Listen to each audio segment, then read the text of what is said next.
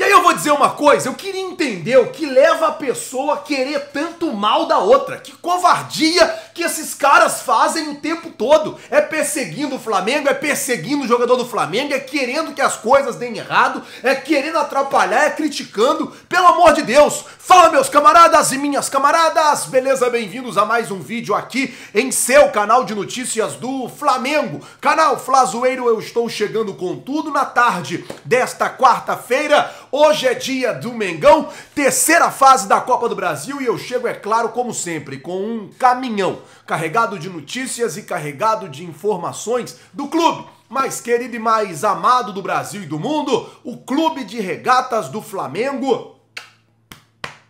Nosso amor. Mas antes de qualquer coisa, na humildade e na moral, eu queria pedir a você que não é inscrito no canal meu camarada, minhas camaradas, tem um botão aqui embaixo escrito inscreva-se. Cara, se inscreve aí no canal, acione o sino da notificação, deixa o teu like porque vai ajudar e muito no nosso trabalho, vai ajudar e muito em nosso crescimento e vai ser, é claro, muito importante para nós. Não é inscrito? Se inscreve, acione o sino, deixa o like, vamos às notícias do Flamengo, eu tenho muita coisa para falar com vocês e eu já vou começar o vídeo falando sobre a mudança que o técnico Tite deve fazer na equipe hoje é, a provável escalação, ele vem com o Lohan de titular, tirando o Luiz Araújo do time. E tirando também o Ayrton Lucas e colocando Matias Vinha pela lateral esquerda. O time ficaria basicamente assim. Varela na lateral direita, Rossi no gol, né? Varela na lateral direita, Fabrício Bruno, Léo Pereira, dupla de zaga, Matias Vinha na lateral esquerda. No meio-campo,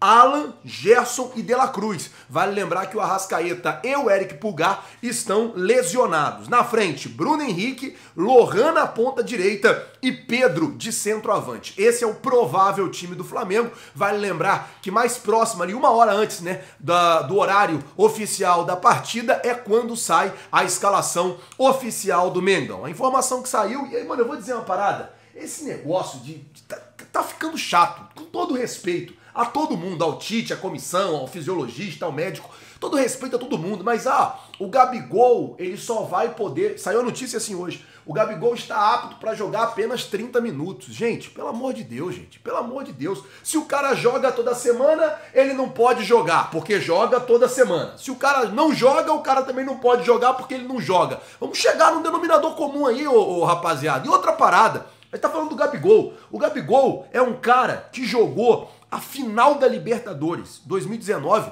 com um tornozelo que parecia uma cebola.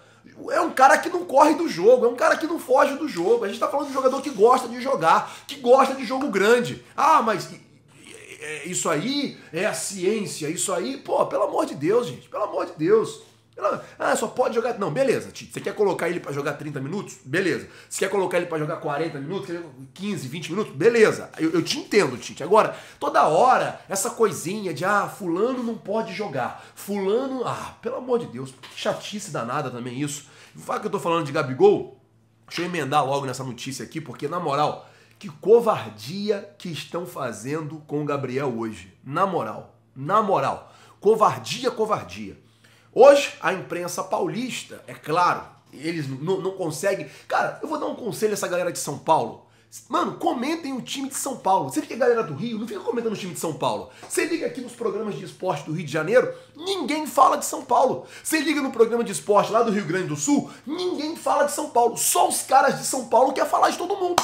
Os caras de São Paulo, eles querem falar de todo mundo. Eles querem dar pitaco no time de todo mundo. E aí a situação é basicamente a seguinte. Vou explicar para vocês. Os caras hoje, não vou falar nome para não dar palco, mas os caras hoje, a maioria deles, né, que eu vi que o Neto tava feliz, mas os caras hoje estavam dando um show, um escândalo nos seus programas porque a torcida do Flamengo fez uma festa para receber Gabigol de volta. Mano, cuida da sua vida, cuida do seu time, cuida do seu trabalho. Esquece a vida dos outros. Esquece. Mano, chega a ser covarde o que vocês fazem a maneira entre linhas que vocês tentam o tempo inteiro de querer colocar uma crise no Flamengo, de querer é, é, menosprezar o que faz o torcedor do Flamengo, de querer não dar a devida importância de como tem que ser dado. O torcedor fez festa, o torcedor ficou feliz que o Gabigol voltou. Ponto, acabou. Agora, se vocês não gostam do Gabigol, ou se vocês têm algum problema com o Gabigol, resolvam o problema de vocês com eles, mas não ficam fazendo isso que está feio.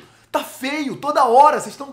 Sabe? Toda hora é uma picuinha, toda hora. Ai, porque a torcida do Flamengo fez uma festa pro Gabigol e não deveria fazer a festa. Ai, porque. Ah, pelo amor de Deus, gente. Pela, tudo homem velho barbado. Tudo homem velho barbado.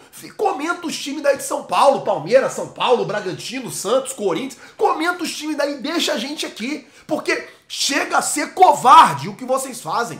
Chega a ser covarde o que vocês fazem.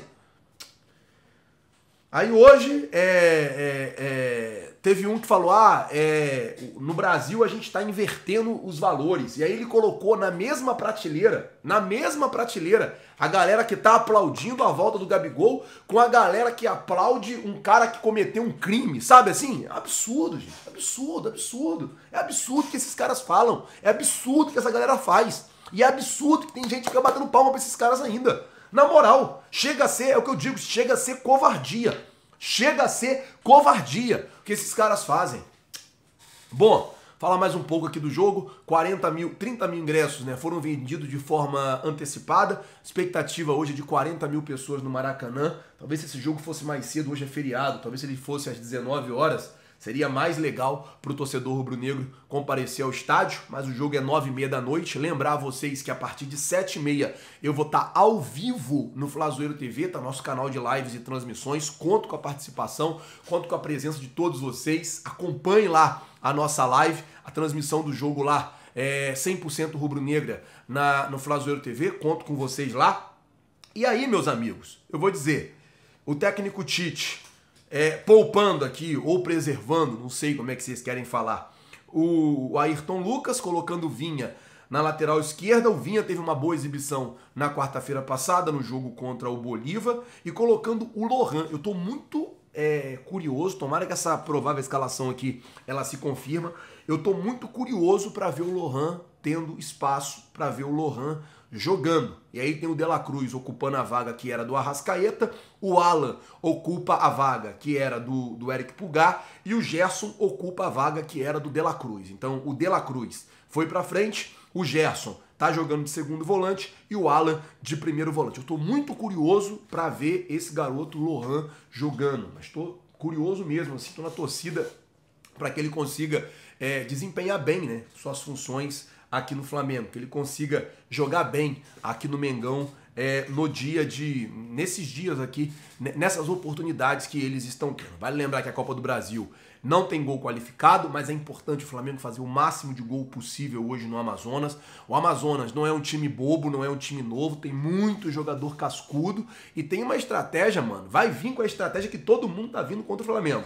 Vai pegar um caminhão de gente vai colocar na área então o Flamengo tem que melhorar aí essa questão de infiltração, essa decisão na última bola e fazer o máximo de gol possível hoje, já que a gente vai estar jogando em nossa casa. É, não que lá em Manaus não seja a casa do torcedor rubro-negro. Também é, tem muitos rubro-negros em Manaus, mas a diretoria do Amazonas já disse que vai separar o estádio lá é, 90 a 10, então 90% para eles, só 10% para a gente. A gente sabe também que vai ter muitos jogadores do Flamengo que vão infiltrados lá na torcida do Amazonas, porque não vai ter como comportar toda a galera que assistiu o jogo só na torcida do Flamengo, mas a gente hoje tem que fazer nossa parte. Estamos jogando em casa, o nosso time é maior, o nosso time é superior, com todo respeito ao Amazonas, o nosso time é muito mais caro e a gente tem que fazer o nosso papel, que é jogar bola e ganhar o jogo dentro das quatro linhas e fazer o que tem que ser feito. Ponto. É isso.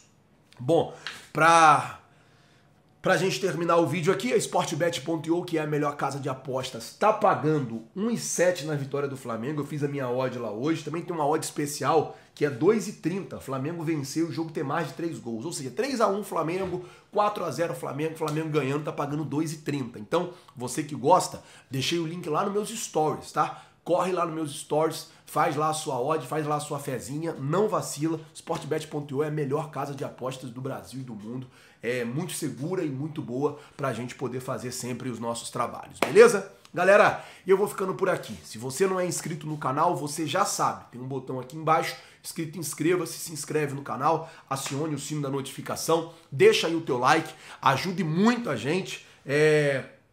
Técnico Tite hoje. A gente precisa ganhar esse jogo. Três jogos sem ganhar já, mano. Tem que ganhar. A gente empatou com o Palmeiras, perdeu com o Bolívar, perdeu o Botafogo, perdeu com o Botafogo hoje Não pode ter um outro resultado a não ser uma vitória, assim, uma vitória maiúscula, sabe? Uma vitória grande. Tem que ser assim. Vou ficando por aqui, galera. Muito obrigado por tudo. Valeu, tamo junto. E é nóis. Fui!